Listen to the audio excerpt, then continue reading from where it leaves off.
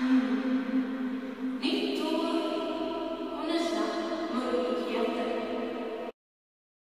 är det helt enkelt ett helt nytt sprillans... Nej. Nu är det då ett sprillans nytt år. Tack. Och vad ni vill göra med den informationen är helt upp till er. Men i alla fall jag ska försöka göra detta året tio gånger bättre än mitt förra år. Vilket alla säger då. Men ja. Jag fattar jag inte riktigt det här med bara nytt år, nya möjligheter. Ja men nu, nu kan jag bli en supermodell fast jag var en snickare förra året för att eh, nu blir det ett nytt år så då kan jag starta på något nytt. Jag känner inte riktigt jag utan jag känner liksom att det är en skillnad. Men detta året fyller jag 15 och eh, jag har faktiskt en sak att meddela er. Att på min födelsedag så åker jag till New York! Jag kommer vlogga asmycket där faktiskt. Så gilla för vloggar i USA. I julklapp fick jag en Macbook! Vanliga youtubers bara. Jag fick den här Body Butteren. Um, den har då väldigt fina skålströmmar in på den. Även lite kristaller omkring. Och här står det då Body Butter. Så kan man öppna då, man skruvar på locket. Och så här inne ligger själva krämen. Och det är väldigt god konsistens. Och den är då rosa. Um, och jag tycker om den väldigt mycket. Jag fick den av min fasters farmors barnbarns dotter. Hamster. Hamsters barn. Förlåt mig. Och jag bara... Jag fick då ett hörn av en och då observera att bilden blev ganska skakig. Så det är därför jag har börjat göra lite annorlunda videos nu ifall ni har märkt det. Och jävlar. Men tillbaka med det här med själva nyåret då. Jag har gått ut på stan och intervjuat ett antal personer om vad de har för nyårslöften. För jag tycker det här med nyårslöften är lite intressant eftersom jag aldrig haft det, tror jag inte. Så, och jag har hört att de flesta har. Beach 2015! Jag kör lite Beach 2000 aldrig! Jag har hört lite olika sådana där grejer som jag antar aldrig funkar. Men vi ska få höra vad de här tre som jag intervjuat har att säga om detta. Hejsan, skulle jag kunna få intervjua dig? Ja, absolut. Gud vad bra. Eh, jag undrar då vad ditt nyårslöfte nu 2015 är? För det är lite jobbigt att hålla upp dem så här. Det är jobbigt när man ska göra så att typ laga mat. Då är det mycket att man behöver båda händer. Och sen då när jag slipper det, ja, då, då ser jag inte ett skit och då hittar jag inte dem för då är jag ju, då ser jag inte ett skit här. Jo, jag förstår.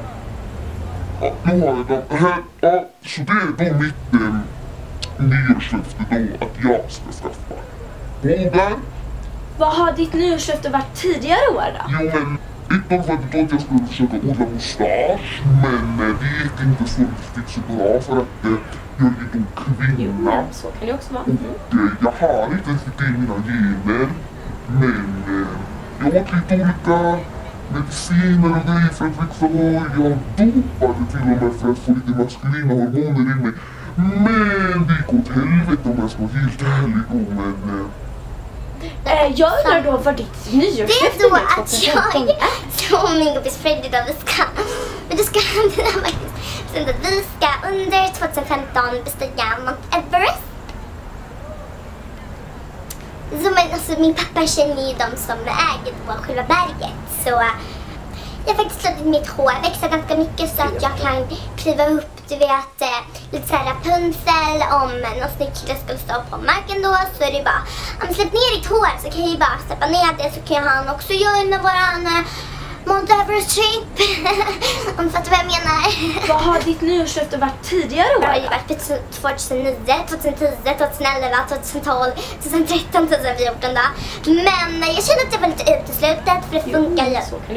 är helt ärligt. Då tänkte jag att vi bestiger Mount Everest så får ju så får man liksom variera med sina nyårslöften liksom. Det, det kan vara bra.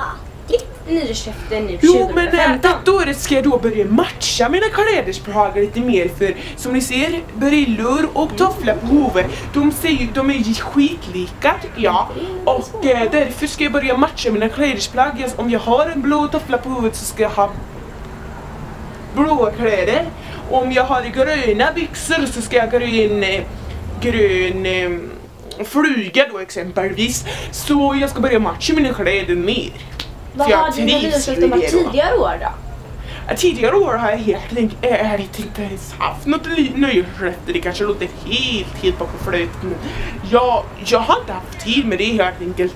Jag har jobbat mycket på gruvan och grejer så Det är första gången jag, det är en improvisation här hur jag skulle ta mig åt mig. Jag kände att detta året ska vi ha ett nyårslöfte och detta var då det finaste jag kunde komma på. Okej, tack så mycket. Ja, tack, tack själv. Och helt enkelt allt om nyår och hoppas ni blir nöjda med mina små intervjuer här. Ni får ha det superbra så ses vi i nästa video. Gilla för fler vloggar och gilla för vloggar i USA så hörs vi. Puss hej, leverpastej.